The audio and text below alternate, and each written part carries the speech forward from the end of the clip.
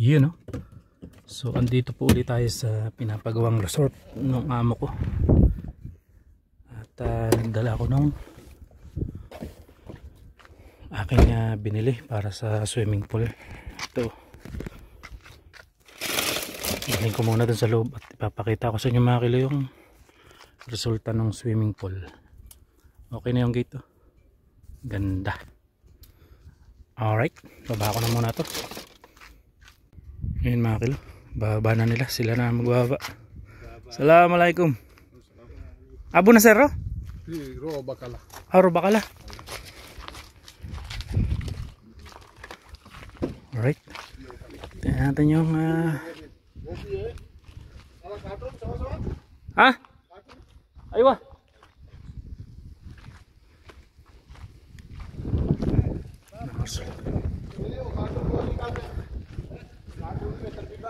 Ayan na ang resulta mga kilo. Tingnan natin kung may tiles na.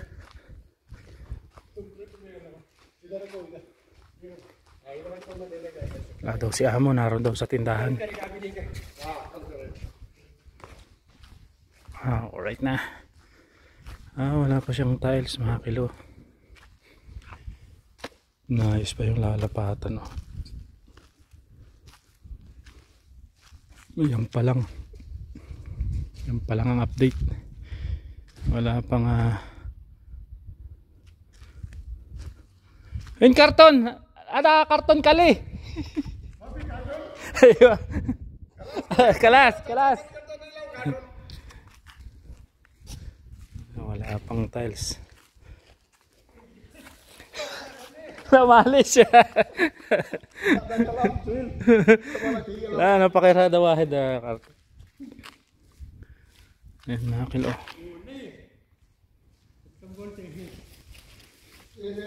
Yung paglalagyan ng mga lights ng ilaw. Ito pa lang ang update mga kilo.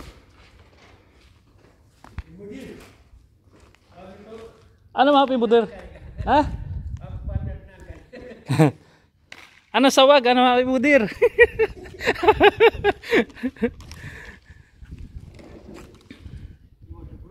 Hmm, Ayan pa lang ang nangyayari.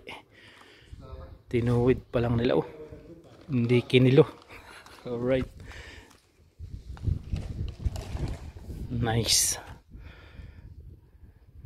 Tapos sa kanila lalapatan ng tile siguro. Okay na rin yung gate.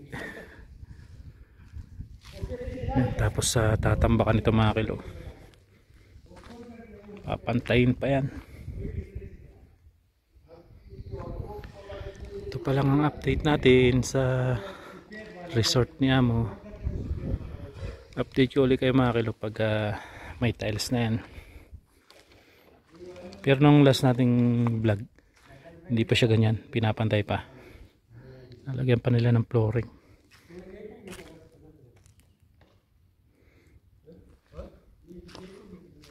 Alright.